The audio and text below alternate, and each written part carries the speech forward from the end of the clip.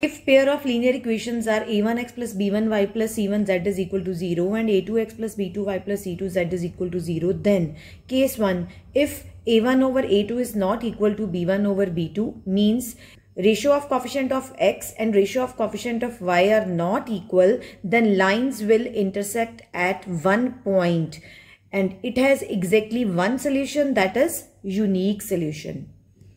Case 2, if a1 over a2 is equal to b1 over b2 is equal to c1 over c2 means ratio of coefficient of x, coefficient of y and coefficient of z. All the three ratios are equal. Then lines will be coincident means they will overlap each other. And it has infinitely many solutions. Now case 3, if a1 over a2 is equal to b1 over b2 is not equal to c1 over c2, then the lines will not intersect at any point. They will be parallel and they have no solution.